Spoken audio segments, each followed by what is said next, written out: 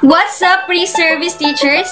For today's vlog, I am going to discuss to you about the importance of integrating EPP or TLE in basic education curriculum and K-12.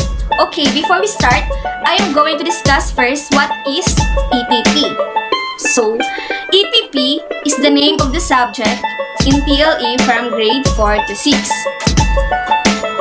Medium na ginagamit sa pagtuturo ng EPP or Edukasyong Pangtahanan at Pangkabuhayan ay Filipino sa grade 4 and 5.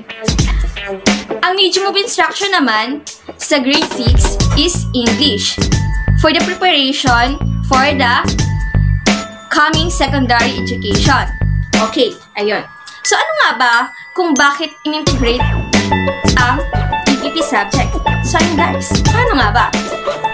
Do you know guys that entrepreneurship is integrated in four areas of TLE and its components like ang career pathways in technology and livelihood education or CPTLE program ay ang bagong TLE noong nakaraang 2010. So yun guys, pag-usapan naman natin kung ano ba talaga yung kahalagahan ng TLE sa bagong curriculum.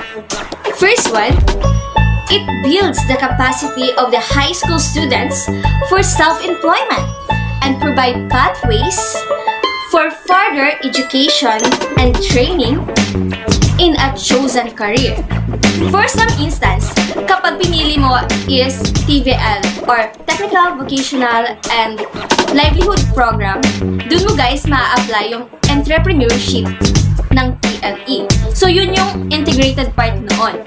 One is, it is the practical and relevant course offerings responsive to individual productive even if they decide to leave the formal school system at any given time.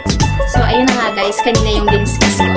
Na kapag umayaw na sila guys or hindi na nila pinagpatuloy yung pag-aaral in college, meron na silang makukuhang trabaho. Because they already graduated in K-12.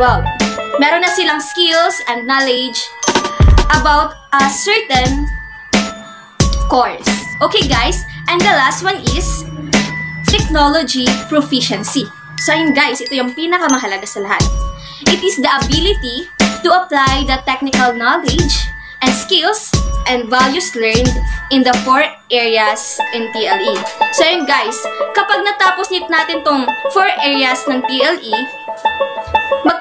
tayo ng technological proficiency or proficient na tayo dito sa area na to.